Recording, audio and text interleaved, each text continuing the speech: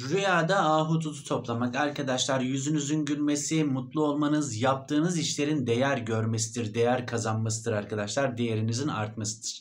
Yani ahududu gerçekten çok güzel bir semboldür arkadaşlar. Ve hani topladığınız ahudududa böyle kurtlu vesaire herhangi bir olumsuzluk yoksa arkadaşlar gayet güzeldir. Yaşayacağınız güzel günlerin habercisidir. Yani hayattan bıkmış olabilirsiniz. Hayat sizi çok görmüş olabilir. Ama hayat süreç süreçtir arkadaşlar. Hiçbir şey sonsuza tek sürmüyor. Yani bundan önce atlattığınız sıkıntıları bir düşünün. Şimdi eser kaldı mı? Kalmadı. Geçti. Yıktı geçti. Ezdi geçti. Deldi geçti. Ama sonuç olarak geçti.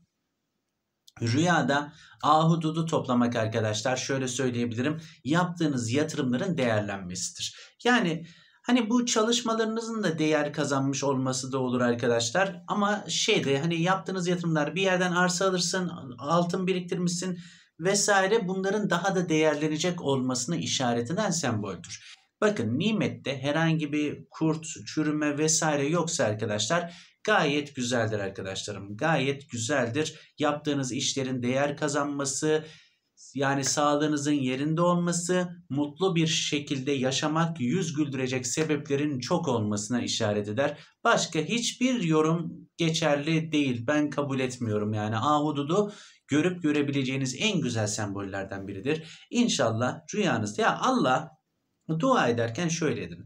Rabbim bana iki dünyada da cenneti yaşamayı nasip et. Yani mutlulukla imtihan et. Yani mutlulukla imtihanın imtihanı nedir derseniz arkadaşlar insan mutluyken Allah dini aklına getirmez. Yani dikkat edin mutlu insanların aklına Allah pek gelmiyor. Yani yaratıcı gelmiyor. Daha çok arkadaşlar acı çeken zor durumda insanlar. Hani filmleri de izlediğiniz zaman böyle yalıda yaşayan insanların ağzından Allah'ım yardım et kelimesi ne zaman çıkıyor filmde bile? Hastane kapısı önünde, yoğun bakım kapısı önünde. Ondan sevgili arkadaşlarım mutlulukla imtihanın zorluğu budur. Allah'a unutturur mutluluk. Gerçekten. İşte mutluluk mutluyken zor olan şeydir Allah'ı hatırlamaktır. Hani ahireti hatırlamak ona göre yaşamaktır. Çünkü sen mutluluk insanı yani cezbeder. Yani sadece mutlu olursun ve aklına hiçbir kaygı gelmez, korku gelmez. Yani biz ne zaman dua ediyoruz en çok dikkat ederseniz Allah'ım ne olur korktuklarım başıma gelmesin şeklinde. Görüşürüz. Hoşçakalın.